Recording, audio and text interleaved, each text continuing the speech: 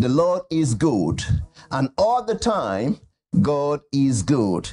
Now, today, I'll be taking us to the God of harvest. It's called the word for now. The word for now, the on time word that'll get the job done on time. The on time word. And this morning, I'll be taking us to the God of harvest. Oh, hallelujah. And I'll be looking at the three dimensions of revelation of God's word. Oh, three dimensions of revelation of God's word. I want you to take your seat. I want you to give me your heart and listen attentively as the Lord will be speaking to us. Heavenly Father, we thank you once again for this morning. Thank you for a time of encounter. Thank you for a time of interaction and the time of experiencing the dimensions of the Spirit. Thank you for the revealed word. Lord, I pray, take us from where we are to where we ought to be in you. I pray, O oh Lord my God, for everyone under the sound of my voice that none will be distracted. Lord, I take authority over every form of distraction. Nothing will distract you. In the name of Jesus Christ. And dear Lord Jesus, I pray, O Lord, speak through me and speak to your people in the name of our Lord Jesus Christ. We give you praise and worship. In Jesus' name we prayed. Amen. I want to warn you against distraction. Many times, when a word is coming with the capacity to change and totally transform your life, be careful that you are not distracted at that point in time because something will happen because Satan does not want you to receive the word. It will cause something to happen that will take your eyes away, that will take your focus away from the word. And at that instant, you might just miss a word you've been waiting for, you've been looking towards, you've been praying for. You might just miss the word. But I pray for you this morning that you not miss the word that will change your life forever. Because God is bringing that word to you again this morning in the name of Jesus. Three dimensions of revelation of God's word. I'm laying the foundation. God builds from foundation. Three dimensions of revelation of God's word. Number one, inspiration. One, inspiration. What is inspiration? Settle this in your heart that the words of scriptures, the words you hear today, the words given in God's word to us, Settle it in your heart that these are not cunningly devised fables. Settle it in your heart. They are not just not, they are not just uh, what the Bible calls uh, maybe just fables. They are not just words coined, manufactured by someone. The Bible says in 2 Timothy 3:16, all scripture, not some of the scripture, all scripture Meaning that all scripture, not just the ones we like, not just the ones we prefer, not just the ones that we tend that that tends to yes I, I like this word. If you are just reading the words you like you are reading your greed into his creed. Learn to take the scripture. That means that the words of god all scripture is what is given by the inspiration of god and it's profitable for what? It's profitable for doctrine. That means that when you listen to that word, when you are inspired by, by, by, that word, when you settle that word in your heart, the word has the capacity, the potential to bring profit into your life. When I say profit, I'm not talking about trading. I'm talking about the God, the word prospering in your life. Profitable for what? For doctrine. Profitable for what? For reproof, for correction, for instruction in righteousness. That means when you receive the word, the word is profitable for doctrine. The word doctrine means teaching. And it's for what? For reproof and for correction. That word has the capacity of bringing ethical correction into your heart, into your life, and for instruction in righteousness. Settle it that the word you are hearing is what? Is what? Is profitable for doctrine. Settle it in your heart that this is God's word for your life. First dimension, inspiration. If you don't settle this in your heart, you're not likely going to meet to the next dimension. You're not likely going to experience the next dimension. It's profitable for inspiration, profitable for doctrine, for the proof of correction, for instruction in righteousness. Number two, or the second dimension, is called illumination. Illumination. Sometimes God's word will come as mysteries, but mysteries remain mysteries until they are uncovered. Illumination. So when you start to take the word of God and personalize the word in your life, when you start to apply it to your life, what you start to do is to bring illumination to your heart. Illumination. Number one, inspiration. Number two, illumination. When you start to take the word, the word you have not applied to your life, you are not likely going to experience. When you take the word, when the word comes and you say, Yes, Lord, I receive the word, that is why we should not be passive when the word of God is being released. We're not supposed to be passive observers. We're supposed to be active participants. So that when the word of God is coming, when the word of God is hitting you, say, Lord, I receive the word. I want to thank you. I declare this word over my life. This is what the word of God is saying concerning me. The word of God has come that I will what emerge infinitely better. What God says to what God is saying to all. The word has been given to every one of us. But if you don't receive it, if you don't personalize it, if you don't lay hold on it, you are not likely or you are unlikely to experience it. Illumination. Psalm 119, verse number 105. What does it say? Psalm 119, verse 105 says, And the word is what? The word is lamp to my feet. Lamp, look at what the psalmist, look at the writings of the psalmist there. The word is a lamp to my feet. He personalized it. He didn't say the word is lamp to our feet. The word is lamp to my feet and a light to my path. Meaning that when the word of God becomes lamp to my feet, when it's a word that we've received, then that word becomes what gives light, brings direction to us. When the word of God is received, praise the name of the Lord. When the word of God is received, The word brings what? Direction to our hearts. Direction to our lives. The word is lamp unto our feet and light unto our path. The word is lamp unto our feet or lamp unto my feet and light to my path. The word you have not received on your inside is unlikely to give direction to you on the outside. The lamp to my feet, part of your body, then it becomes light to the path that you want to travel upon. Lamp unto my feet and light to my path, illumination. Then verse number 130. What does it say? 130 says, The entrance of your word gives what? Light it gives understanding to the simple.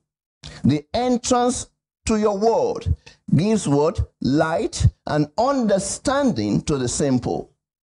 The entrance, of, when you enter into the word, it gives light. It gives understanding to the simple. What is the word simple? The word simple there means that the word to the one whose heart is open, to the one whose heart is not made up, to the one whose heart is ready to receive what God is saying. Be open to the word of God. Don't just say, Yes, this is what I've learned, this is what I know. The moment you find something in the word that is contrary to what you have learned, make the necessary adjustments. Amen. Because the word of God is the final authority, not what somebody said, not what somebody, the way somebody has said it. But the moment you find it in God's word, it brings what? Light, and it brings what? Understanding toward the simple. It's called what? Illumination. The moment you receive inspiration, The moment the word of God is illuminating your heart, then what you experience is a third dimension called manifestation. Manifestation. Sometimes we all want manifestation. We're asking for, oh, let the word manifest. But the word is not is a word you have not received it. The word has not become more flesh to you. The word is not shining any light onto your path. And we say, Yes, I want it to. No, it, it, it, doesn't just manifest like that. You receive it, you, it becomes yours. It becomes flesh to you. Eh, it becomes real to you on your inside. Then nothing on earth can stop it from manifesting on the outside. Manifestation is the third dimension. John 14, verse number 21. John 14, verse number 21. Let's go there. And Jesus said to John chapter number 14, verse number 21. And he who has my commandments and keeps them, it is he who has what? He who has my commandments and keep them, it is he who loves me. And he who loves me, and he who loves me will be loved by what? My Father. And I will love him and I will manifest myself to him. I want us to listen to that word very carefully. He who has my commandment and what keeps them. How many times have you said to the Lord, I love you, Lord. I love you, Lord. I love your name, Lord Jesus. When we sing that song, or when we say to Him from time to time, Jesus, I love you, you know what He does? He checks your heart to see how are you applying His word in your life. Because it is He who has His commandment and is keeping them. That what?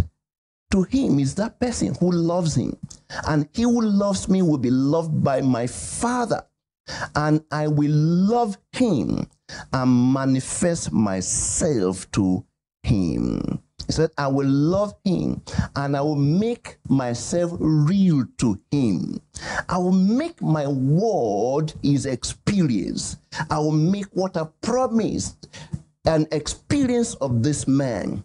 That means that whatsoever I've said in my word, because this man has my commandments, and this man is keeping my commandments. Number one, inspiration. Number two, illumination. Number three, manifestation. He said, because this man has been inspired by my word, this man is keeping my word, or this woman is keeping my word, is you know, keeping personalizing it, then he will he or she will experience the manifestation of the word. Before I'll go further, remember, we're looking at the God of harvest.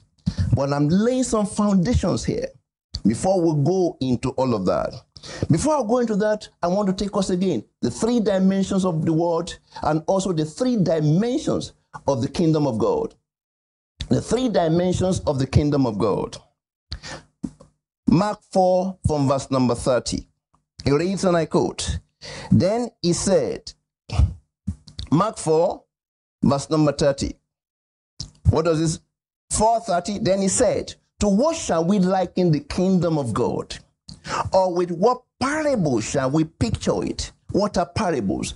Parables are earthly stories with heavenly meanings. So, what shall we liken the kingdom of God? Hear directly from the mouth of the Master. Or what, with what shall we picture it? Verse number 31. And I says, It is like a mustard seed, which when it is sown on the ground, it is smaller than all the seeds on the earth. But when it is sown, it grows up and it becomes greater than all herbs and shoots out large branches so that the birds of the air may nest under its shade. Verse number 33. 33.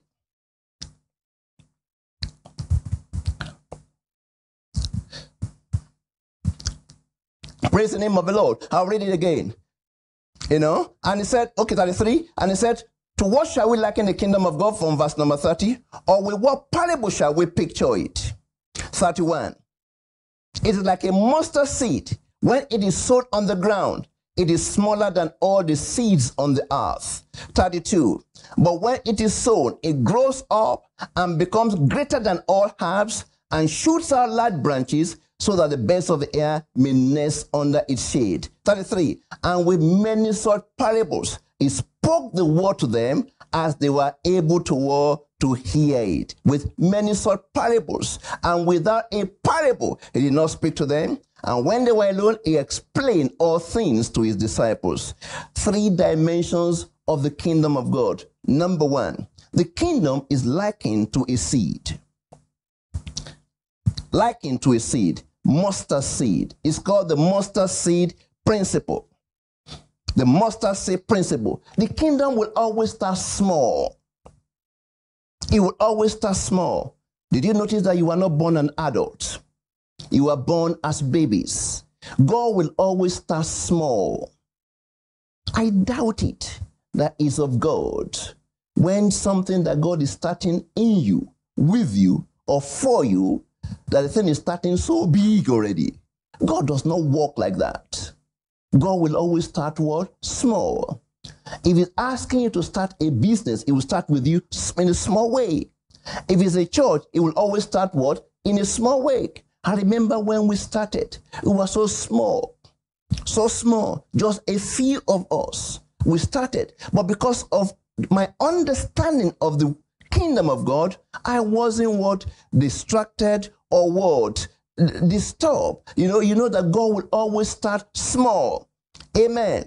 It is called the mustard seed. That is why I want to say to you that don't despise the days of small beginnings. Don't despise the days of small beginnings. Don't despise it. Zechariah chapter 4, verse number 10. Don't despise it when you're starting small. We all want things to start huge and start big. And then, oh yeah, so that many times so that you can boast and say, come and see what we accomplished in a very little time. You know, yes, you can start big, but when you have not gone through the process, I'm telling you, when you have not learned, when you have not learned to keep what God is giving to you, what you have not learned to hold on to, you are likely going to lose. So God will always start small with us. It is like a mustard seed. It will start small. Whatever God is asking you to do, it will start small. He likened it to a seed. Said, To what shall I liken the kingdom of God? It is what? Like a what? We watch our we picture it is like a mustard seed. The mustard seed is the smallest form of seed or type of seed I've ever seen in my entire life. I don't know whether you've seen the mustard seed. I have. It was brought to me by one of us many years ago, and I held it in my hands while I was preaching, and I was using it to explain things to people. Then the breath, my breath blew it from my palm and it landed on the floor and I could not retrieve it. It was so small that it disappeared with this most minute grain. And I'm not talking about sand here. Imagine, uh, you know, a floor, normal floor, not, not sand, but normal floor. It disappeared into it. It was so small. God says that the kingdom is like a mustard seed. Oh, hallelujah. Meaning that there's no one that God cannot start with because it is it, it's small. God will start small with you so that everyone will have capacity to contain what God wants to do. Uh, because if God says I'm going to start in a particular way, maybe majority will have been eliminated. But He wants to start small with everyone, in the most minute way, in the smallest way, so that you can carry and grow what God wants to do. Don't forget. That's why don't despise days of small things. Don't despise days when seems, seems, things seems to be so small, or what, or the way we normally say when nothing seems to be happening. Don't despise it. Don't look at the business and say, look, uh, in the last one month, not nothing really. Is your time to incubate it? Is your time to pray over it? Is your time to trust God for it? Amen. When God is also teaching you the word of God, they say, oh, I've attended the Bible study. I've been in church in the house. Look, I don't know why. I can't remember the word. I can't seem to. Oh, pastor will just quote it and quote it, but I can't remember anything. Is a time. Don't forget the pastor has been doing it for many years, probably before you came into the kingdom or the church. So you need to also learn, take your time, meditate on it, spend time with it so that the word can become flesh in you. But God will always start with you in a small way. Number two, he likened the kingdom. He now said this it does not multiply until it is sown. It does not multiply until it's sown. It's like a mustard seed when it is sown. When simply means that there's a time frame. That means if it's not sown, nothing happens. If it's not sown, nothing happens.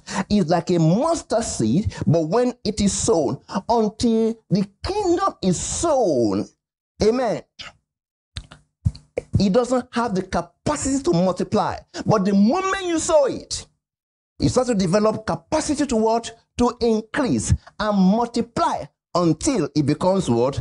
A harvest. The God of harvest. I'm teaching us how do we encounter the God of harvest. If you don't start to sow this word, if you don't start to take this word and sow it into your heart, it does not multiply. In fact, the Bible says the birds of the air will come and steal it and then take them away, take the word away. But when you start to word, when you take the word and start to sow the word into your heart, that is when the process of multiplication begins. Multiplication begins. Praise God.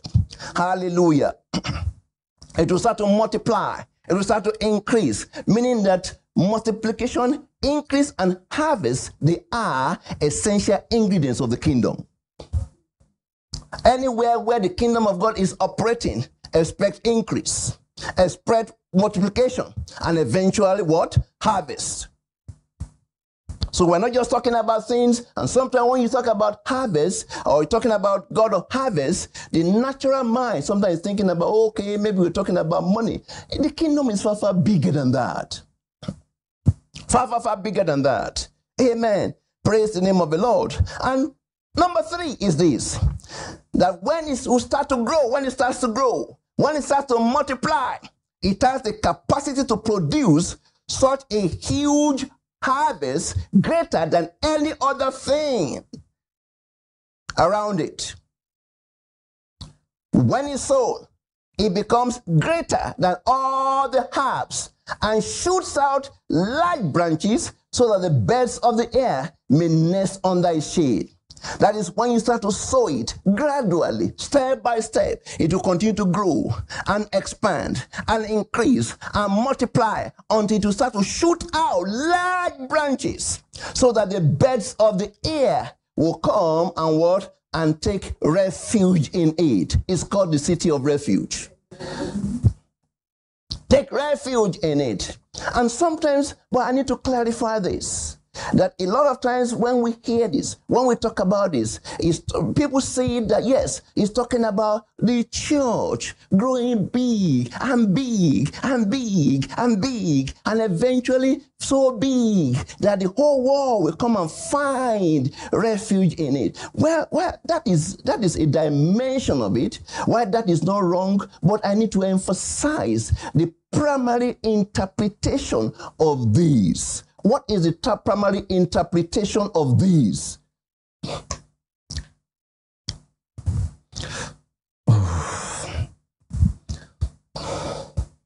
What is the primary interpretation of these? Jesus says something in Luke chapter number 17, from verse number what? 20. Now, when he was asked by the Pharisees, when the kingdom of God will come, Luke 7 20. When he was asked by the Pharisees, when the kingdom of God will come, he answered them and said, The kingdom of God does not come with observation. Nor will they say, See here, see there, for indeed the kingdom of God is within you.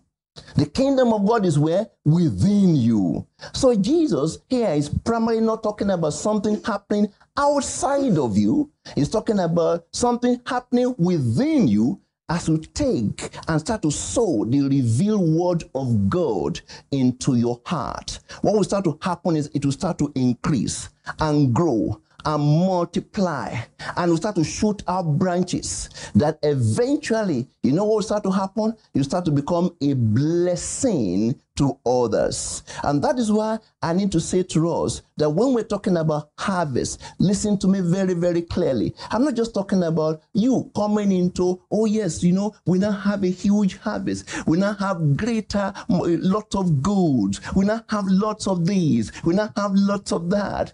That is not the kingdom. Yes, you may have lots of goods. According to God, it has not become a harvest yet until what you have is starting to what? Be a blessing to others. If he's not shooting out large branches, the others can now come and find succor and find comfort and find encouragement in it. You have not reached harvest yet. You may have an abundance of products, maybe abundance of resources. It is still not harvest yet. But when it becomes harvest is when others can find succor, others can find comfort, others can find things from it you know what will start to happen? Oh, then God will now start to call that harvest has come. Amen. Three dimensions of revelation of the word of God, three dimensions of the kingdom. Praise the name of the Lord. Hallelujah. And that will now take me to what I want to remember. I'm laying foundation on the God of harvest. That will take me now to what is called testing testing. Because the moment you have the word being revealed, the moment you have the word of God being sold in your heart, and the kingdom is starting to expand, then be ready for what? Testing. Because without testing, there won't be what? Testimony. Testing. The Bible says, after a while, God tested what? Abraham. Testing will come. Be ready for your own tests. Amen. Be ready for your own test. Why does God allow a period of testing? Is to prune us. To prune us, to shape us, to align us so that we can what, be ready to be everything that He has called us to be. So now, verse number 35. Verse number 35. On the same day, not a different day, the same day that he spoke to them the, about the parable of the sower. The same day he spoke to them about the parable of the mustard seed. The same day he spoke to them about the parable of the kingdom, different parables of the kingdom. On the same day when evening had come. On the same day, not even a different day.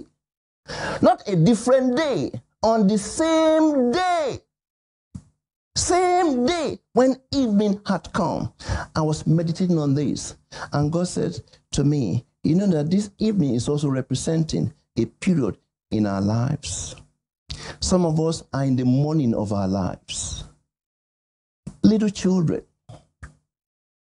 babies, teenagers are in the morning of their lives. Sometimes when people and especially with teenagers, they think, yes, they have now grown, they've now matured. We can do this, we can do that. Man, by the time they said they can vote, or especially when they turn 18, even some before turning 18, they believe that, yes, now I have the liberty, I have the freedom to do this or to do that. You are just in the morning of your life. Thank God that the morning can reveal the day, but it's still the morning of your life. Some of us are in the morning of our lives. And then some of us are in the afternoon of our lives. That is those of us who are you are out of school, you know, in the morning of your life. That period is dominated by schooling. It's about your education so that you can lay proper foundation for your future. It's about your education. So the emphasis there is your education. You go to school, you learn. You, you, you learn not just by learning to study, you are learning to discipline yourself. You are learning to work, become more responsible. Because freedom without responsibility will produce disaster. Because by the time you get to your adult life, when you cannot do things for yourself, if you have not learned the proper discipline as foundation, you will destroy that life. So, education, oh, you wake up in the morning for so many years, you go to school, you are in class at a particular period. You must be in class. If you're in primary school, they, they, you must be, when they say it's time for this, you show up there. It's time for that, you are there. You don't have the liberty to decide whether you'll attend that class or not. You have to be there. They enforce it on you. If you are in high school, which is part of the morning of your life, similar thing. The periods are there. And the moment you start to get to the higher classes in high school, get to the university, which is you are entering to the afternoon of your life, you now have more freedom. You can decide that maybe I will do it this way, I will not do either way. But when you've learned the proper discipline in the morning of your life, you know what to do the appropriate things and when not to do the what? The thing you're not supposed to do. When you are doing the right things at the wrong time, or you are doing the wrong things at the right time, it's going to cause what? Lots of trouble and heartache. So in the morning is to train you to prepare for the afternoon. In the afternoon is determined by what? You, you, you, you, you still have education. You are still going to school. Maybe you are doing your degree or you are doing your master's or you are doing your higher degrees. And also we are working. So the afternoon is combined with working and studying. You are doing the two together doing the two together. At that time, you're thinking of getting married. You're thinking of now finding a spouse. Now I think I want to settle down. Those are still functions of the afternoon. Young families. Then you, you get to evening. In the evening, most people in the evening is a time of consolidation of the things you've been doing in the morning and in the afternoon. And it's a time that when people are already in their 50s or in their 60s, is called the evening of their lives. And now, you know, the final one is called what? The night time. The night time is when everything is winding up. There's some of us, you are listening to me. Many of us are in the morning of our lives. Many of us are in the afternoon of our lives. Many of us are in the evening of our lives. Very few of us are in what is called the nightfall. The night is when the curtain is about to drop. When you're about to say bye bye to what? To planet Earth. You can't run as you used to. You now take steps gently. Eh, what? You take your steps gradually. Before you run upstairs, you are there, you are there. But now, you, you, still desire to do it, but the bones and the body say, no, you can't run like that again. You are not taking one step after the other. It's called the night time of your life. And it's a time, not even just, not of consolidation now, it's a time that you ensure that your legacy is properly set. In fact, all the, or even from, from evening, you must start to prepare your legacy. And then nighttime, your legacy must be said.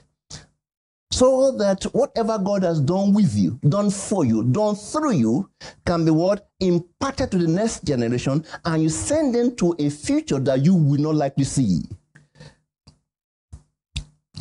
It's quite interesting at this time. Jesus said, when the Bible said, when evening had come, when evening had come, why didn't he say when morning had come? Or when the afternoon had come? Because he spoke to them all day. Why didn't this happen in the afternoon or even in the morning? It's just to let us know that it's not over until it is over. Because sometimes when people be turn 50, they say, you know, we are going old now. You know, we are getting old now. You know, it's not a time to hear you are getting old. We're not getting old. You're just in the evening of your life. It's a time to war, to refire. It's a time to war, to consolidate. During the week, I was listening to a very elderly pastor who was retiring at the age of 88 and said that he was stepping out as the senior pastor of the church or stepping down as the senior pastor of the church, but what? Refiring in the ministry that God has called him to. At 88, I looked at him it was still quite strong. I said, wow. I said, indeed, you don't retire. You continue to refire. Amen. Somebody say, oh, I'm not. No, no, no, no. You may retire from government work. You may retire. They may even retire you from government work. But in the kingdom, God does not retire anybody. Amen. You continue to refire until finally you say bye-bye to planet Earth. When evening hard what had come, when evening had come, he said to them, Let us cross over to the other side. The time of testing had come for the word you've been hearing. oh, because before the kingdom will start to work, really, really big, the harvest will come. Be ready for the testing. The testing is to prepare you for the huge harvest. Oh, yes, uh, you may have the abundance. Oh, look at this. But when you go through the test, how do you give what you have, what you do? You can't give what you don't have. When you have not gone through anything, how do you encourage others who are going through? Grace is not just imparted on the bed. Grace is imparted that as you go through and you learn some things, you what grace is imparted unto you so that you can now what be able to take others through their own journeys too. When the evening had come, he said to them, Let us cross over to the other side. Can we call this period even the evening of this year? Can we call it the evening of this year? The January, the February, the March. Wow. Things. You can call those ones maybe the mornings of February, January, February, March, April. Then maybe the, the, the May, June, July, maybe those ones are afternoon. The moment you now start to hit the August and the September, you are rounding up the year. But look at Jesus telling them at the evening when they were supposed to, okay, maybe we need to go and rest now. He said, no, it's time to cross over to the other side. That's why I kept telling you that it is not over for us in this year. That's why I kept, I've been telling you that this year is not gone, is not finished yet. Can you imagine at this period, Jesus said to them, to what? Go and sleep? No. Go and rest? No. He said, it's time to begin the journey, to cross over to the other side. The other side of experiencing the manifestation of the power, of the grace, of the glory of God in a dimension they have not known before. Let us cross over to the other side. A time whereby what they, what they receive will be tested so that it can be grounded in them. Do you know? Oh, somebody, and uh, let's, let's continue. Verse number 35. 36. Now, when they had left the multitude behind, oh, they took him along. You know, in taking that journey, they had to leave some behind. Left the multitude, not the disciples, not the apostles, but the multitude. Do you know that every promotion in God will always require you to leave something behind? Every time God is calling you up, anytime God will say, Come up hither, it may require leaving something behind. Maybe something you love to do. When God is calling you to the place of prayers, it may require cutting down on more television time. When God is calling you to a time to Himself, it may require you do, doing what? Dropping the time with the parties. You've been crying, say, Lord, I want to know you the more. I want to be closer to you. I want you to use me. And you say, okay, give me your Saturday. And Saturday is the normal time you, you get dressed for the next party. It will always require. I remember a man called Kathryn Kuhlman that was so mightily used of God. And people will ask her, Can you share with us the secret? What did you do? How, how come God has been able to use you like this? What did you do? He said, You don't know the process of death I've gone through. Unless the corn of wheat falls to the ground. It's called humility and dies. It abides alone. But when it dies, it brings forward, it's called huge harvest. Are you ready for the dimension of harvest that God will show us? I'm laying the foundation for it. That there'll be a time of testing. It's at this time that the boys are separated from the men. It's at this time that those who truly wants to go further are separated from those who are just talking about it. Because God will not cast his peers before what? Before swine. And he said, Let us go. They left the multitude behind and they took him along in the boat as he was, and other little boats were also what? Within.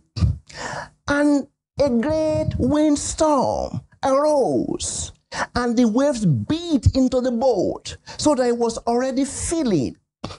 Oh, a great windstorm. When did the windstorm happen? When they were on the journey to the other side.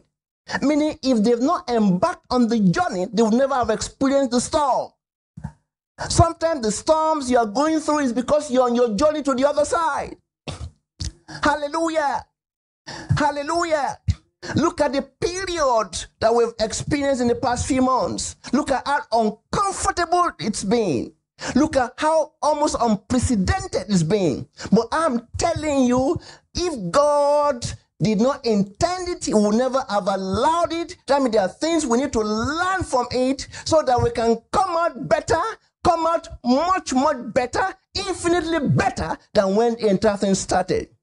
Can I tell you that whenever God is asking to do something uncomfortable, it's because He's about to do something remarkable. Yeah. That He's about to do something remarkable. When He told them to leave the comfort of the uh, uh of where they were and said, "Now move to the other side." They didn't know they were about to experience the greatest storm, and accompanying the greatest storm will be the greatest miracle of their lives up to that point in time. Oh, I remember the words of Smith Wigglesworth. He said, The harder the ground, the greater, oh, the opportunity you are giving to God to display His glory. And a great windstorm, it didn't just say storm, it said a great windstorm arose, and the waves beat into the boat so that it was already filling. Verse number 38. But when but he was in the stand, asleep on a pillow. Oh, how can he be sleeping in the midst of a great storm? It's called You Are God Alone. From you are on your throne. God alone. Oh, I'm telling you, because He's the Lord of the storm. And thank God the Lord of the storm was in the boat of their lives. But he was in the stand asleep on the pillow. And they awoke him and said to him, Teacher, do you not care that we are perishing? Did you notice that the storms didn't wake him up, but their cries woke him up? Sometimes the storms might not wake, but when you hear your cry, you will hear the cry of your prayers. It will hear the cry of your supplication. It will hear the cry of your intercession. It will say, Yo, that's one of mine. That's one of mine. He was in the stand asleep on a pillow. And they woke him and said to him, Teacher, do you not care that we are perishing? Notice that word, they say we, meaning all of us are perishing. Obviously, they still did not know the person in the boat with them. Say that we are. How many times is it that we don't even know? Well, we forget the one that is in the boat of our lives. The Bible calls him the greater one. That greater is he that is in us than he that is in the world. And they awoke him and said to him, Teacher, do you not care that we are perishing? Verse number 39. Then he arose and rebuked what? He rebuked the wind and said to the sea, Peace, be still. He didn't rebuke the storm. He rebuked the wind that was causing the storm. He rebuked the wind that was producing the storm. He went to the foundation of the problem and rebuked it. And what happened? He said, Peace be still. Why? Because the Prince of Peace is the one speaking. And he spoke peace to it. He said, Peace be still, and the wind ceased. And it's also to teach us that a lot of times the problem we see in the natural are produced by factors beyond the natural. Produced by factors beyond the natural. Many times we respond or we react to the natural rather responding to God to help us handle whatever we're experiencing. We react. You can't solve spiritual problem with physical means. We, you can't solve it. Jesus went and rebuked the wind and said to the sea, peace, be still. And the wind ceased, and there was a great war calm. Hallelujah. There was a great calm. And now look at it. Verse number 40. He now said to them, Why do you know he didn't rebuke them for what? For being what? He didn't rebuke this. Why? Oh, this storm is this storm is indeed so so powerful. Oh wow. Look at it. The storm was he didn't rebuke he, he, he didn't mention that at all. He didn't talk about the storm. Why? Because storms of life will come. You can't do anything about storm. There'll be, you know, you can't do anything about people coming to knock your door. You can't stop people from calling you. Marketers will call your phone sometimes. You can't go and call uh, call Telstra. I wanted to say Nitel. You can't go and call Telstra uh, uh, and then call and tell them, "Oh, block the block my phone from marketers calling me." You can't do that. You can stop Optus from doing that. But you know what? You can stop them from what? Getting your time. You can't stop people from coming to knock on your door. Sometimes some people have knocked on, on our door. Unwanted guests, unwanted visitors. And do you know what? The moment, oh, I'm sorry, or will not even allow that. You can't stop people from coming to knock on your door. But you have what? The right to determine who will enter into your what? Into your home. Can you stop the belt from flying over your head? Is it possible? Because the Lord, in Jesus' name, I rebuke every bird from flying over my head right now. No bed. You can't stop that. But what you can do, you can stop one from laying heads on your head, or laying eggs, or planting a nest in your ear. Can you do that? Of course you can do that. You can shake it away and say you can't you can't you can't stay here. So storms will come. But you know, he now said to them, his object, what he addressed was their response to the storm, not the, not the storm itself. So why are you so afraid? Why are you so fearful? Why are you so fearful? And I'm saying this to us. Why are we so fearful of COVID? Why has the church been so fearful of COVID? Why have we been so afraid of it? Almost on a regular basis in scriptures, you find Jesus, the Word of God, God saying, Fear not. I told us three things. If you practice these three things, you will never experience COVID. You will not experience COVID. And I thank God for how God has kept us, kept us as a family, kept us as a, as, as a household, kept us as a church household. You will never, if you hear this word, if you receive this word, remember inspiration, illumination, then what? Manifestation. So if you've not received the word, there may be a challenge in having manifestation. He said to them, Why are you so fearful? And what are the three words? I'll remind us of that. Number one is this do not fear their fear. Don't be afraid of COVID. You have the greater one living inside of you. COVID 19 is not greater than the greater one. You have God living on your inside. Don't be afraid. Then why, why are people so afraid? Because many times they either do not have the greater one or they are not aware of the greater one. Don't fear their fear. Number two is this remember the promise of God. God is a covenant keeper, not a covenant breaker. He says, My covenant will I not break, neither will I alter the words which has gone forth out of my mouth. And what exactly is the word that he gave us? At the beginning of COVID 19, we took a vaccination. Amen. The world is still looking for vaccination. We took our own first vaccination in March and we've taken it at least two or three other times within that period. And I've given you instructions. Number one is this don't be afraid of their fear. Number two is this believe the word of God. Hold on to Psalm 91 that he that dwell in the secret place of the Most High shall abide under the shadow of the Almighty. And I will say of the Lord, He is my refuge, He is my fortress, and my what? My God. In Him do I what? trust and because you will say, Hallelujah. He says, Surely. That means if you refuse to say, that may not be surely. But when you say it, then surely will be your experience. He says, Surely I will deliver you from the snare of the fowler, from every war, perilous pestilence. Hallelujah. And he will cover you with his feathers. Under his wing, you will take refuge. His truth will be your shield and buckler. When I go out, when I enter into a day, I just don't enter into the day, I enter into the eternal refuge of God. And in the eternal refuge of God, he said, He will cover me with his feathers. Under his wings, I will take refuge. His truth will be my shield and my buckler. Then, verse number five, he said, I will not walk, I will not be afraid.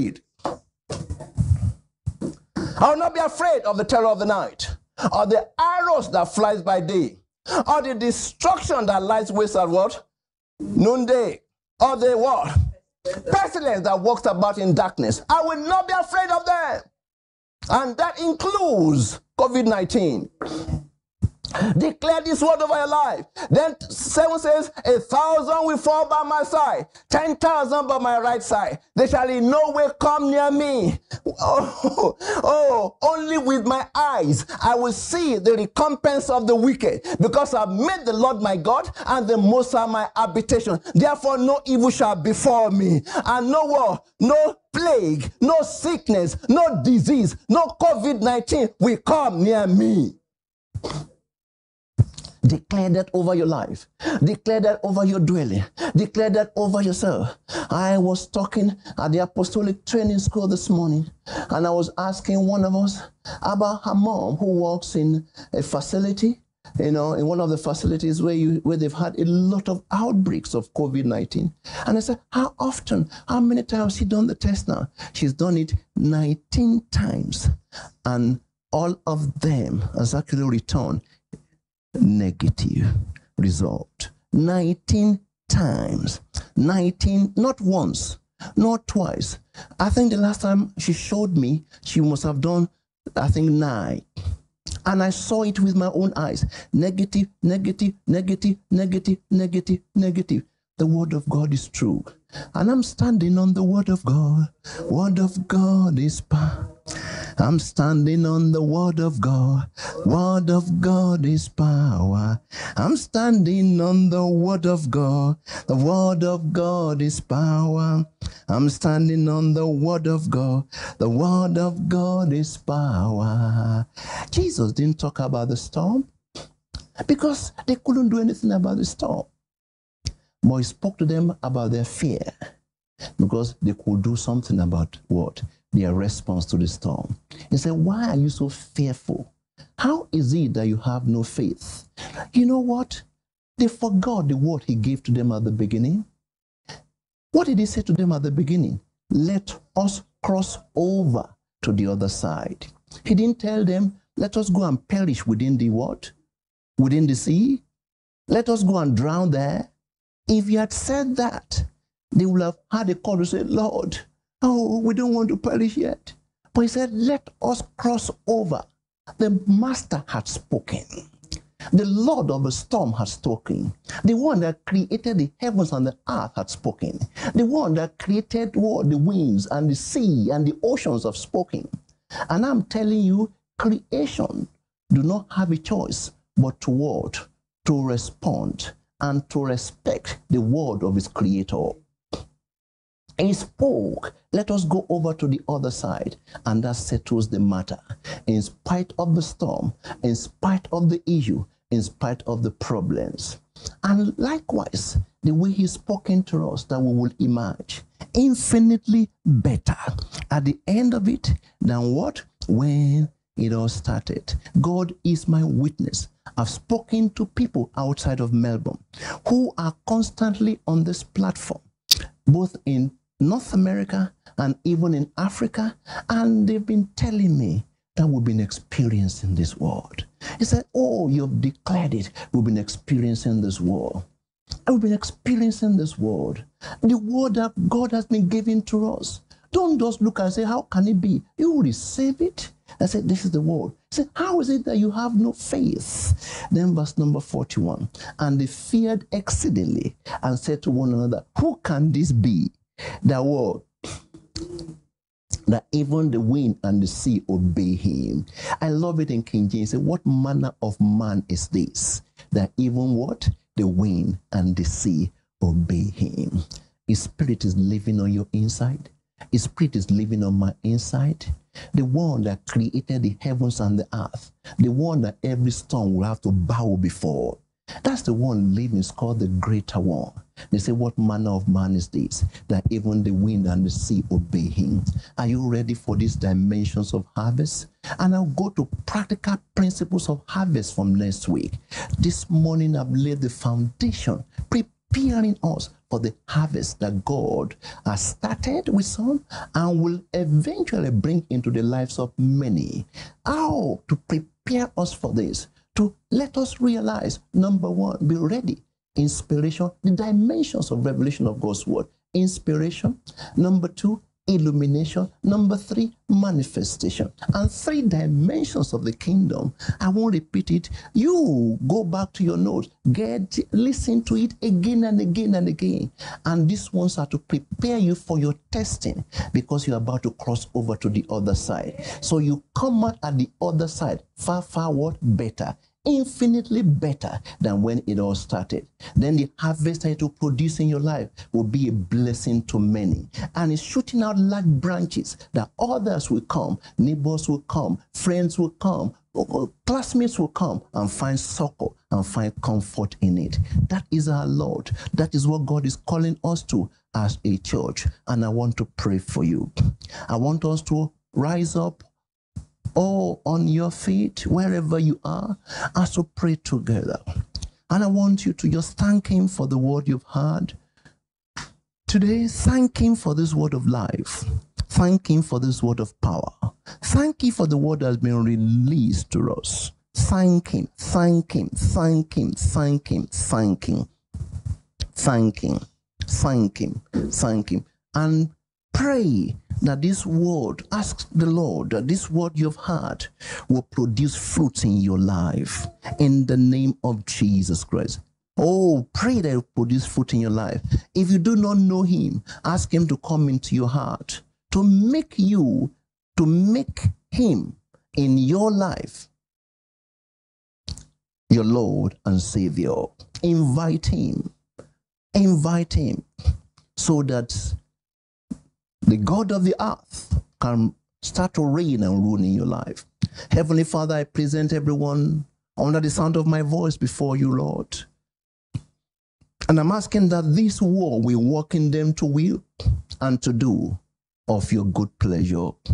Father, I pray, O Lord my God, that let there be inspiration, let there be illumination, so that there can be manifestation. Lord, I pray that no, none of them will be forgetful here, that everyone will go back and take this word and start to apply them in their lives. Father, we thank you.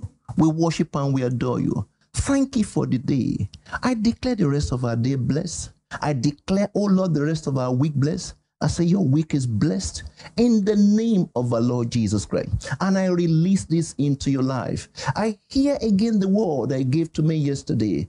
Oh, be expecting surprises. Be expecting surprises in the name of Jesus. Be expecting it. And the hand of God will go, gonna come upon you. Will come upon you and you will outrun every Ahab to the gates of Jezreel. It's called a new unction and a new anointing, opening new doors for you in the name of Jesus Christ. You have not finished yet. You are just in the evening of your life. And even if you seem to be approaching nightfall, it is not over until it is over. You continue to bear fruit in your old age in the name of Jesus. Father, we thank you and we give you all the praise. We worship and we adore you, Lord. Thank you once again for the word of life and the word of power. Oh Lord, in Jesus' name we have prayed.